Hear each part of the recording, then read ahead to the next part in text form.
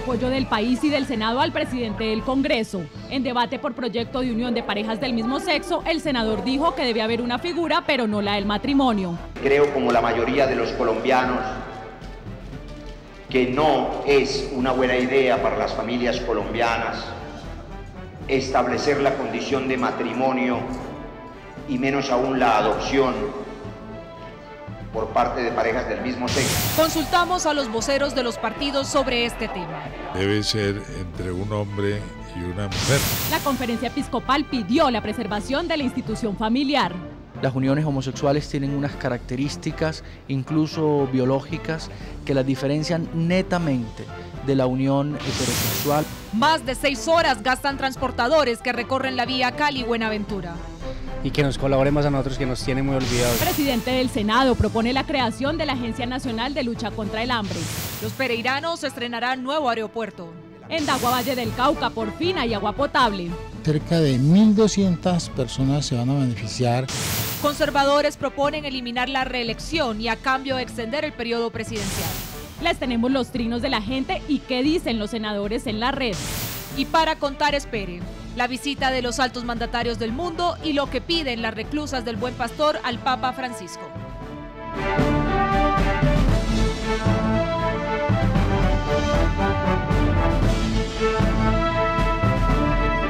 Bienvenidos, este es SNS Noticias, el noticiero de los colombianos. Un amplio respaldo del país recibió en los últimos días el presidente del Congreso por su rechazo al proyecto que pretende la unión de parejas del mismo sexo en el debate en plenaria, el senador Roy Barreras agradeció el apoyo de los colombianos y dijo que su posición es la de los derechos civiles y no al matrimonio igualitario, y menos que adopten niños. Los detalles de la discusión con Carlos Higuita. Durante el debate, el senador Roy Barreras dijo que su posición es la misma de siempre y que respalda la voz de la mayoría de colombianos. Creo, como la mayoría de los colombianos, que no es una buena idea para las familias colombianas establecer la condición de matrimonio. Sostuvo que tampoco está de acuerdo en la adopción entre parejas del mismo sexo. Yo quiero que cada niño colombiano tenga la oportunidad de tener al menos padre y madre, para que crezca y luego pueda decidir libremente su opción sexual. Por su parte, el vocero conservador dijo que nunca la Corte Constitucional ha ordenado al Congreso dar estatus de matrimonio a uniones del mismo sexo. Está consagrado para parejas heterosexuales esa es la sentencia que ha invocado el senador Benedetti. A su turno, el autor del proyecto vaticinó lo que será el futuro de la iniciativa. Y las normas legales que protegerían a las minorías del LGTBI contra la discriminación, no creo que vayan a tener buen sendero. El presidente del Senado, Roy Barreras, instó a sus colegas a votar negativamente el proyecto durante la plenaria del próximo 23 de abril. La posición del senador Roy Barreras ha sido resaltada por la mayoría de colombianos y encuestas de varios medios de comunicación así lo ratifican. Esto fue lo que opinaron los voceros de los partidos políticos sobre la iniciativa. Y la Constitución en el artículo 42 habla con mucha claridad del matrimonio, que dice que debe ser entre un hombre y una mujer. Debemos buscar una sociedad donde quepamos todos y en donde este tipo de situaciones se terminen resolviendo conforme a la ley y se igualen los derechos eh, de los ciudadanos. No comparto este tipo de, de ideas. En principio pienso que es un debate que debería extenderse a convocar más a la opinión pública. Yo solo para efectos matrimoniales reconozco a un hombre y una mujer. Apoyamos eh, la unión de estas parejas, pero no eh, inclusive la misma adopción. Este debate todavía está pues eh, en proceso. La naturaleza para la procreación nos dice que el matrimonio es entre un hombre y una mujer. A raíz del debate del matrimonio entre parejas del mismo sexo, la Iglesia manifestó que respeta los derechos de los homosexuales. Sin embargo, aclaró que el matrimonio debe ser de acuerdo con los designios de Dios entre un hombre y una mujer. En ese mismo sentido se pronunciaron los colombianos.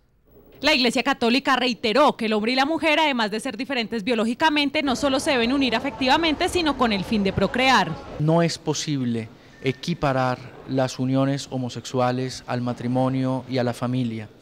las uniones homosexuales tienen unas características, incluso biológicas, que las diferencian netamente. Los colombianos, al igual que la Iglesia Católica, se pronunciaron en contra de la iniciativa. A la verdad mía me parece mal ese asunto, el mismo sexo no. Habiendo tanta mujer. Que eso no debe ser así, la Iglesia no, no lo permite la unión entre el hombre y la mujer y tal cual como los, pues, está establecido en la Constitución. Si aprobaran eso aquí en el Congreso de la República sería una cosa en contra de, la ley de las leyes de Dios. A juicio de la Iglesia, un matrimonio entre parejas del mismo sexo va en contra del orden establecido por la naturaleza humana. Sigue el drama para los transportadores de la vía Cali-Buenaventura. Las condiciones son lamentables y la espera de más de seis horas desesperan a los conductores. Aunque se han invertido importantes recursos para hacer más competitivo el puerto de Buenaventura, la vía sigue siendo un problema. Un trayecto que demoraría entre dos y tres horas se convierte en cinco, seis y nueve horas de espera. Si uno pierde cuatro o cinco horas aquí es llegar a Buenaventura a hacer nada. Transportadores aseguraron que el gobierno no da respuesta y no se ve el trabajo que debe realizar la concesión que tiene adjudicada la vía. Siempre que pasa uno, muy poquitos obreros o los que están por ahí haciendo nada.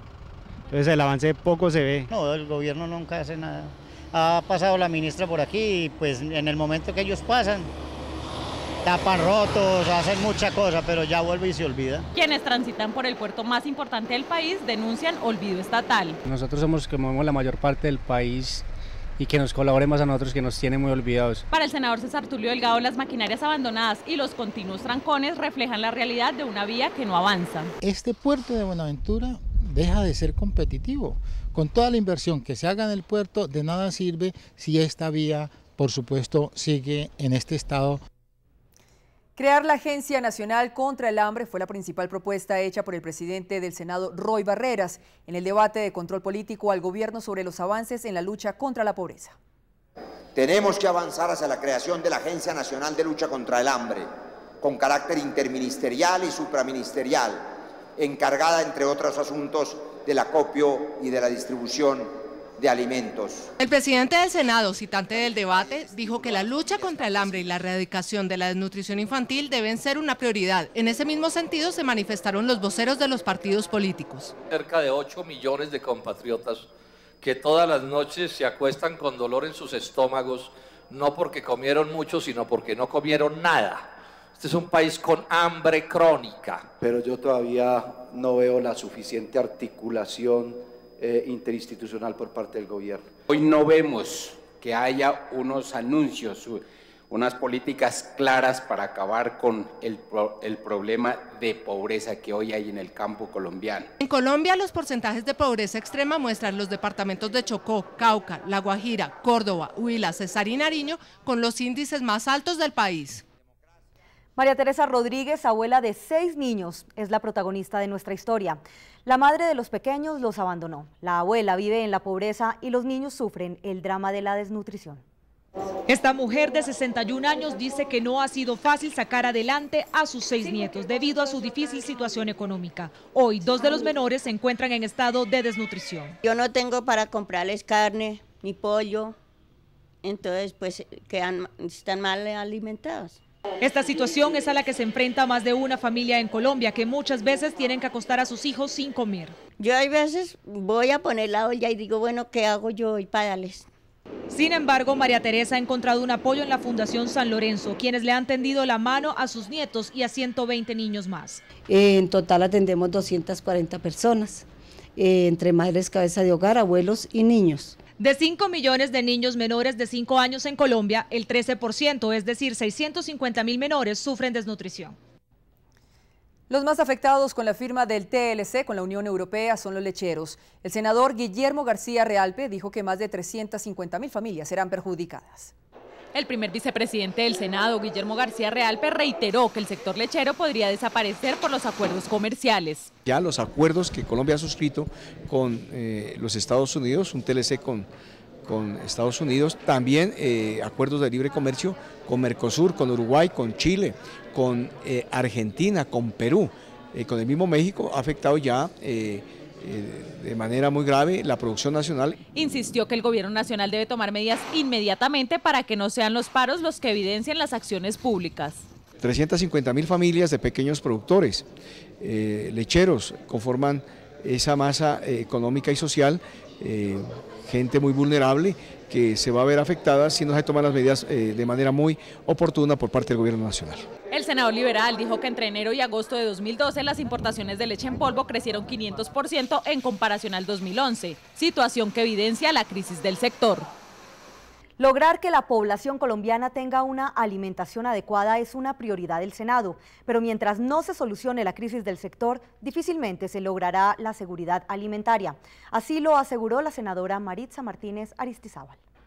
El alto precio de algunos productos es uno de los factores que impide que haya seguridad alimentaria. Creo que entre la comercialización y la industria, ahí hay algo que fractura el precio que deberían tener los alimentos en el país. La legisladora insiste que mientras continúe la crisis del sector rural, la canasta familiar de los colombianos seguirá viéndose afectada. Yo creo que no se puede abordar un tema tan importante sin eh, centrar nuestra mirada en la producción de alimentos. Es allí, insisto, donde el país debe poner especial atención. Por eso se hace necesario un diálogo amplio con todos los sectores para frenar esta problemática. Pereira celebra 150 años de fundación, por eso la ciudad se prepara con grandes proyectos para conmemorarlos, entre ellos el nuevo aeropuerto. En la capital de Risaralda, Carlos Higuita, de NS Noticias.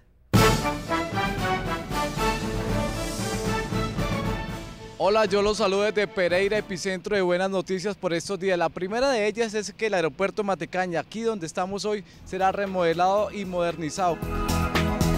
El aeropuerto Matecaña de Pereira fue construido en 1944 y por ende será remodelado en su totalidad. Este terminal aéreo moviliza más de un millón de pasajeros por año. Tenemos 23 operaciones comerciales diarias, eh, siete de estas tienen conexiones internacionales.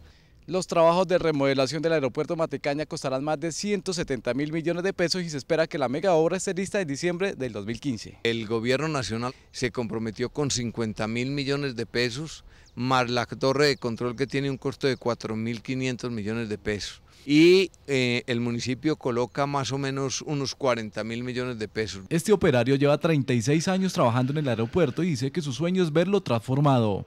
Mi anhelo antes de morir es ver el aeropuerto nuevo que lo pueda ver para sentirme contento como pereirano. El senador Carlos Enrique Soto dijo que el proyecto contempla ampliar la pista en 180 metros. Se construirá una moderna torre de control y una nueva terminal, generando empleo y desarrollo en la región.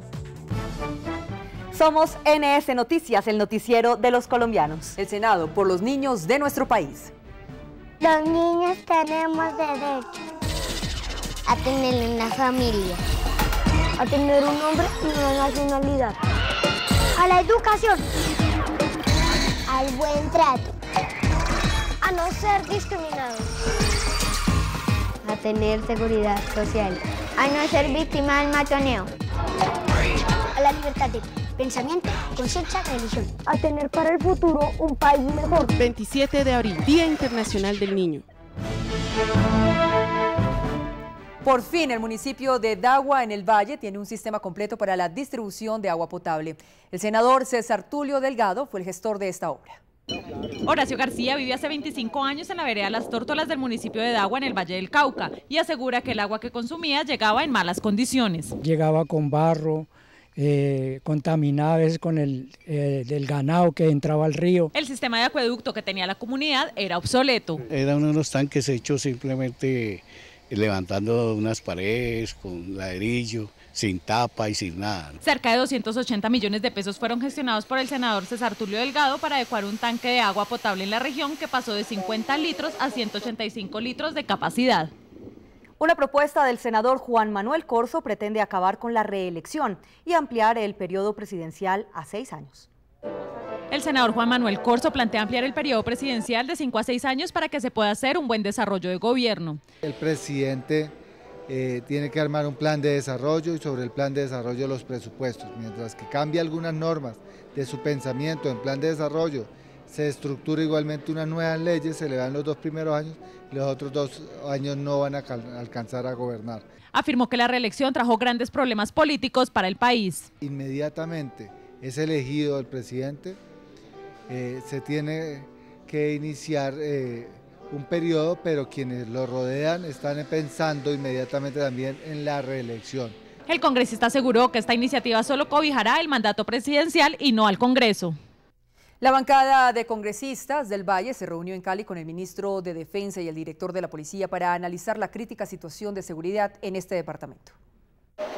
Los caleños dicen que a las autoridades les hace falta mano dura para combatir la delincuencia. Hay boleteo, hay chantaje, hay narcotráfico. Las autoridades deberían estar más pendientes y colaborar más con la ciudadanía. Poneo, eh, atraco mano armada y eh, hay esa sensación de no poderse uno desplazar tranquilamente. Para los senadores vallecaucanos, las condiciones geográficas de su departamento son propicias para los antisociales. La seguridad alimentaria, la inversión social, que es un tema clave en el departamento del Valle. El presidente del Senado dijo que la inseguridad se traduce en desempleo en la región. Más del 15% de desempleo, absolutamente sorprendente e inadmisible en una ciudad antes pujante por su industria. Me parece que debe ocupar la atención del gobierno local. El ministro de Defensa se comprometió a fortalecer la seguridad en todo el Valle del Cauca.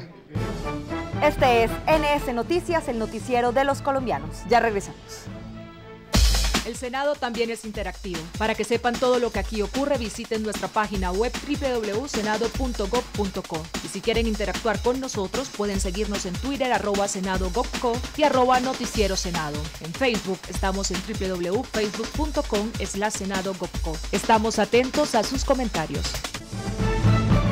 Con una inversión que supera los 100 mil millones de pesos, Pereira tendrá parque temático de flora y fauna que de paso servirá para consolidar a la ciudad como destino turístico. La primera fase del parque temático estará lista a finales del próximo año. Lo que buscamos entonces es que Pereira tenga mayor participación precisamente del mercado que tiene ese destino eh, Triángulo del Café. El alcalde de Pereira resaltó el componente social del proyecto. Le estamos enseñando emprenderismo, todos estos propósitos para involucrarlos a ellos dentro del proceso. La comunidad del sector de Galicia es optimista frente a la construcción del megaproyecto. Va a generar empleo, va a generar cultura y de la mano de la cultura va la educación. El zoológico de Pereira también estará en el parque temático de flora y fauna. En Viges, Valle del Cauca, se desarrolla el proyecto para fomentar espacios de educación. Lo único que falta son recursos del gobierno para el desarrollo de la región. De 120 bachilleres graduados, solo 7 logran ingresar a la universidad. Por esto la importancia del proyecto denominado La Esquina del Saber. Este centro técnico y tecnológico le va a dar oportunidad a los jóvenes cuando terminen el bachillerato de continuar preparándose para ser eh, empresarios. Pese a que el proyecto ya está listo para ser ejecutado, habitantes aseguran que la tramitología y falta de apoyo gubernamental imposibilitan la ejecución del programa. Pero desde allá, desde el gobierno que se han demorado en apoyarnos con el recurso. El senador César Tulio Delgado aseguró que el problema de los entes territoriales radica en la falta de gestión del Departamento de la Prosperidad Social y FONADE. En el departamento de Risaralda se está impulsando un nuevo deporte. La vaquería toma cada vez más fuerza entre practicantes y aficionados. Y aquí con todos los amigos del noticiero del Senado. En Balboa Risaralda se dieron cita vaqueros de siete departamentos en un deporte que para ellos es tradicional. La práctica es el mismo trabajo de campo que se hace todos los días, pero hoy lo llevamos a competencia que es enlazar y soltar una res en el menor tiempo. Tiene un vaquero 60 segundos para hacer ese trabajo y hay vaqueros que lo hacen hasta en 20 y 30 segundos. La fiebre de la vaquería contagió a niños, mujeres y a hombres por igual. Ha sido una tradición que se tiene casi que genéticamente por nuestros antepasados, los abuelos, los tíos abuelos. Desde el Senado se busca impulsar esta práctica a todo el país. Un deporte muy campesino, donde integra a las familias. Usted aquí ve los padres, los hijos, hombres y mujeres en todos estos eventos. Agradecemos a nuestros tuiteros sus respuestas a la pregunta de la semana. Las respuestas de nuestros seguidores a la pregunta de la semana y a usted qué lo trasnocha fueron las siguientes. Arroba y Pasgir, que nuestra patria siga en guerra y nuestras generaciones no hagamos lo correcto. Arroba Japecor. Pasar este puente para el aeropuerto. De noche no se ven huecos. Peligro latente. Arroba Carlica N del Ático. Me trasnocha la crisis de la salud. ¿Cuántos enfermos pasan una noche esperando atención? Arroba Sergio QR69. Las rumbas en la casa de al lado, el estrés del día y el trabajo tan pesado. Participen en el sondeo semanal respondiendo a la pregunta, ¿qué haría para combatir la pobreza? Esperamos sus respuestas con el hashtag Yo Soy NS Noticias. Lo que trinan los senadores en la red a continuación.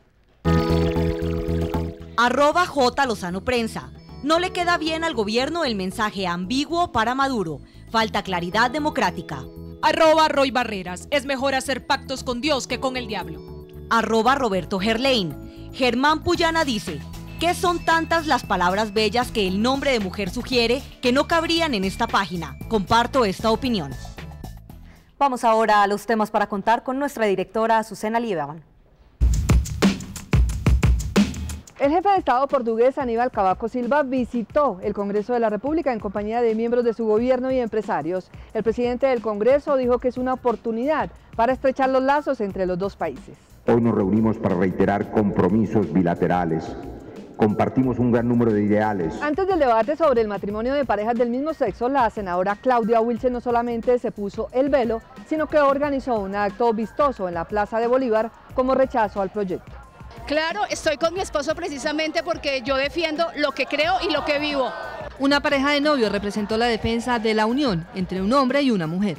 Y la voz de Colombia dice que se debe perseverar el matrimonio.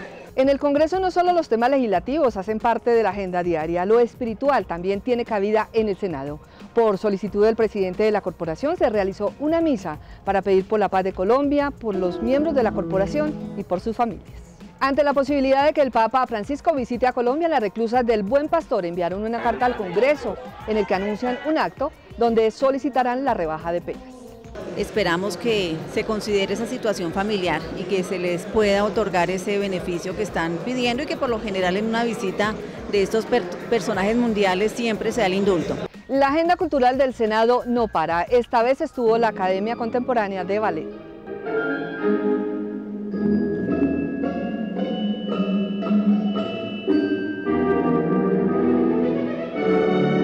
Soy Azucena Lievano. La próxima semana más temas para contar.